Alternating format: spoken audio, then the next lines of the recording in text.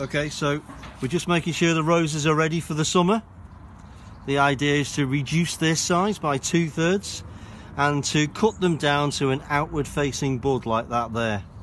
So I'm quite happy with this one, but just as an ex example, I'm going to take this one off here. So I've got an outward facing bud and I've just reduced the size of that one. And you can see we've got lots of lovely new but shoots all over the rose for this year.